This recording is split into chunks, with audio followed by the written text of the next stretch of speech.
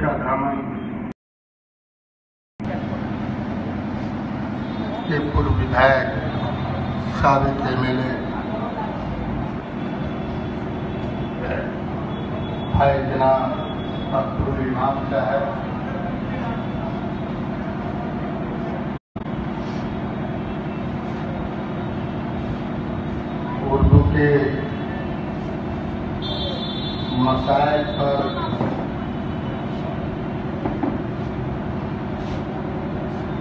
تمام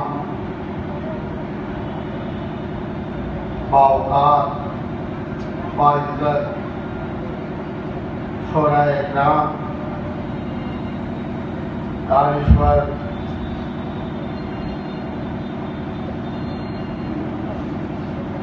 تمام صافی اور اس کار کرم کو مقبوبی چلانے والے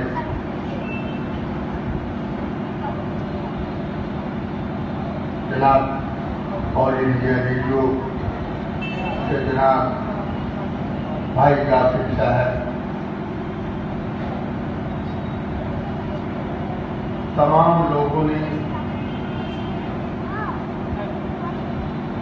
بڑے کافی دیر سے تمام باتوں پر روشنی ڈالنے کا کام کیا ہے، آپ کو گوشت گزار بھی کرنے کا کام کیا ہے۔ سب سے پہلے، آج جو میں کھڑا ہوں، آج جو میں نواچت ہوا ہوں تمام لوگوں کا ہم دل کی گہرائیوں سے شکریہ بھی ادا کرنا چاہتا ہوں اور تمام لوگوں کو مبارکباد دینا چاہتا ہوں۔ کیونکہ آج کی حالت ہو، سماج کی حالت ہو، یا دیش کی حالت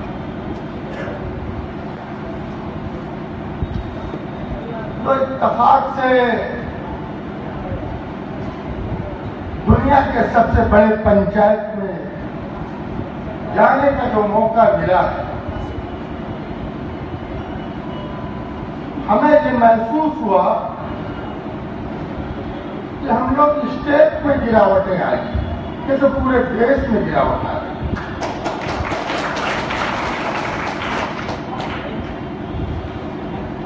اور ابھی بھائی اکبر صاحب نے بڑی ذمہ داری سے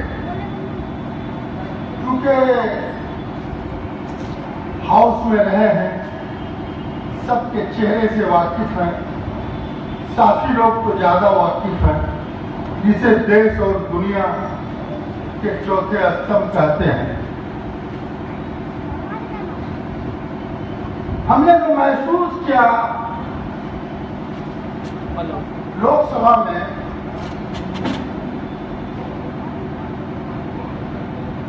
بڑا ہی میں گمگین ہوا۔ اور میں اچانک اسی دن ہوت لیا تھا، ایک وویک پر چلا گیا۔ اسپیکر صاحبہ کے پاس پروٹیسٹ کیا کہ آپ تو ماتا بھی ہیں، ہم لوگ کے سنرکشک تھے یہ پرکاش بھائی کہ آپ چلے گئے تھے اشفاق بھائی۔ ہم گئے کہ اسپیکر مہودیا آپ جس چیئر پر ہیں، ہم لوگ کے سنرکشک ہیں اور ماتا بھی ہیں۔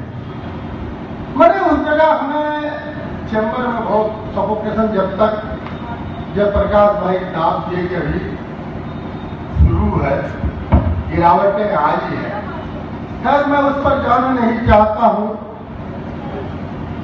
ساری باتوں ہو۔ یہ بہار کی کیا حالت ہے؟ دیش کی کیا حالت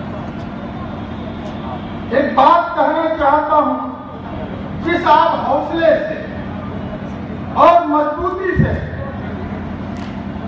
اپنے بیٹا کو کھڑا کیا ہے، سڑک سے لوک سبھا تک پیچھے نہیں ہٹے گا۔ یہ وعدہ کرتا ہے۔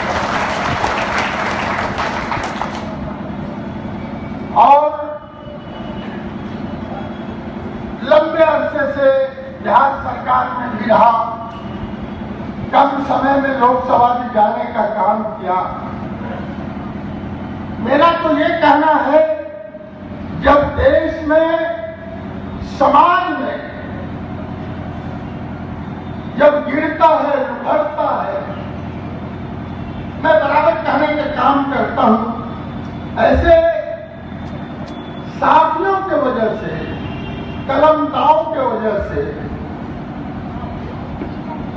مدرسوں کی وجہ سے یا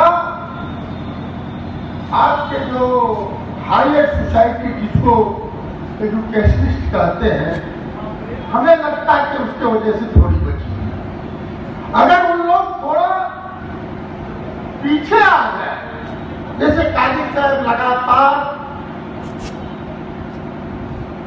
ہم تو یہ کہتے ہیں میٹنگ میں سو میں اگر پانچ سمجھ لیا وہ پانچ لاکھ کا کام کرے گا۔ ہمارے نفس کو اور نمک کو جتنی سرکاریں آئی وہ سمجھ چکی ہے وہی یوجنا چلاتی ہے لیکن سماج اور دیش کو بچانے کے لیے ہمیں آپ تمام لوگ بڑی محنت اور مشقت کی ضرورت ہے۔ یہ ہمارا ماننا ہے۔ جو کم سمے میں ہندوستان کے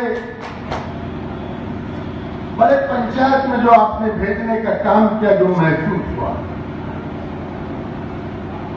اور میں اردو کی ترقی ابھی بھائی نے کہا، اردو کے ڈکیت کو ہندی اور اردو کی بات میں تو کہتا ہوں کہ اردو اگر نہ ہو تو ایجوکیشن زیرو ہو جائے گا۔ اور ہماری زبان اور ہمارے رہن سہن تمام چیزوں پر افیکٹ پڑے گا۔ یہ ہمارا ماننا۔ ہے خیر، آپ لوگوں نے میں مبارکباد دینا چاہتا ہوں۔ چونکہ علیہ سیمانچل کی سرزمین پر پہلی بار راج سبھا بن کر کے آئے ہیں۔